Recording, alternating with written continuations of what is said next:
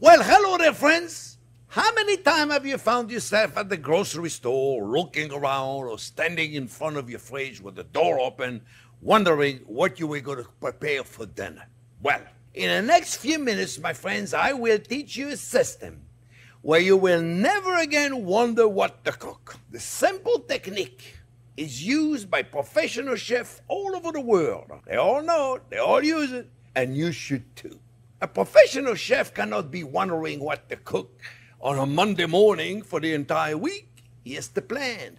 He has to order. He has to shop accordingly and get organized. Doesn't matter if you're cooking for 500 people a day or family of four you still can apply the same technique with great success.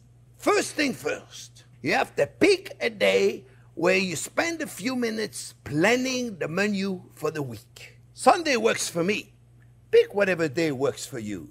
Get the family involved. Everybody should choose the menu, help you choose the menu.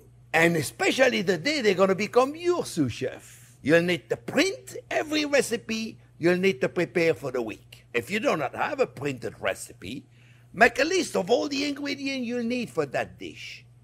Do not forget to plan on using leftover when planning the menu. For example, if one day you're having roasted chicken, you may want to plan the next day to do a nice chicken salad, have some extra chicken that you want to save. As you read each recipe from top to bottom, prepare at least two shopping lists. One for dry goods like rice and flour and pantry item, and the other one for fresh ingredient like produce, meat, fish, perishable. Make the list based on the store you will be shopping.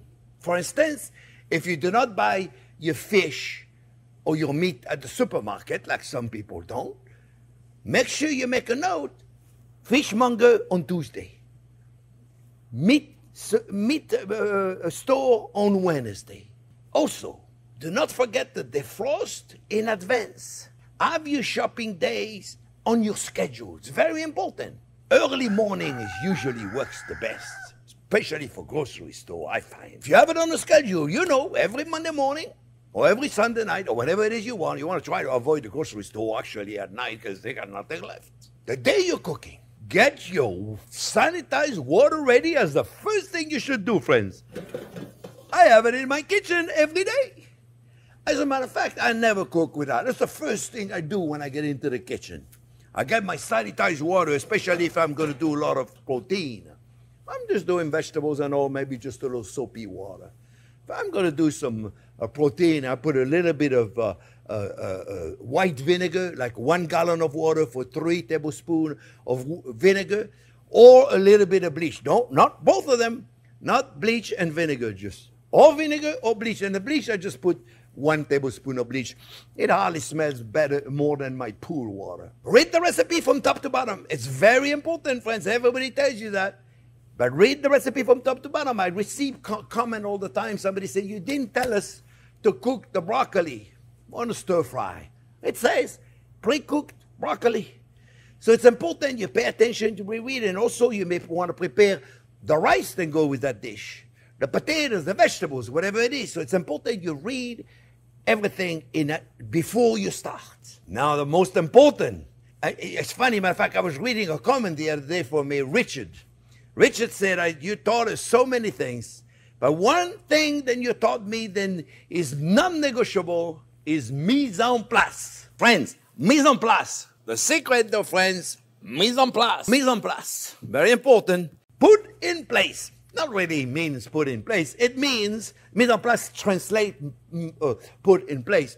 But it really means chop and dice everything in little bowls ready to go. So when you need, when you start cooking, you can have fun with your glass of wine because everything is chopped and diced, the kitchen is clean, and you're starting to cook.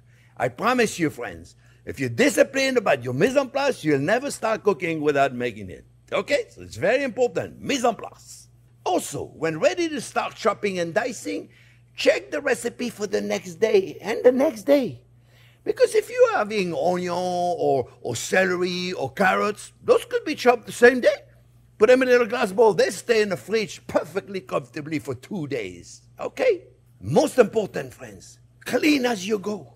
After you finish with one ingredient, clean up the board, clean up the table. Don't start with a new ingredient with a mess already on your board. I can tell a professional cook if he's good or not, or he's organized or not, or clean or not, by the way I look at the cutting board. You can see cooks that have a cutting board full of the stuff they've been cooking for the last two or three hours. Or you can see the organized chef. He cleans, start with the next ingredient. It's so much nicer to start with a clean cutting board. You don't have leftover rosemary that's going to fall in your roasted beets, for instance. It's very important. Little details, but they are so important. Involve other in your cooking, family and friends. Everybody should have fun. Cooking is fun. Turn on some music, have some wine. This system is very simple. It just requires discipline. You must follow it in order to be successful. You have to be disciplined. You got to plan the recipe. You got to shop with that list. You should only go to the grocery store for dry goods only one time a week, if that much. You may be able to skip it because you have enough in the pantry. Success means never again will you wonder what to cook for dinner. Very simple. Remember, you can never find yourself at the grocery store wondering, oh, mama me, what am I going to cook? All right?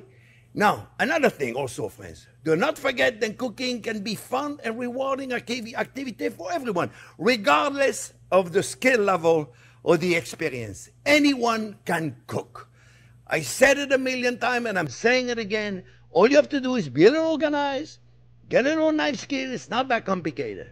Friends, I hope you enjoyed this quick video. Remember, be disciplined and you'll be such a better cook. I promise you. Remember, thumbs up if you like the video, subscribe to the channel, and don't forget to ring that bell. Thanks for watching.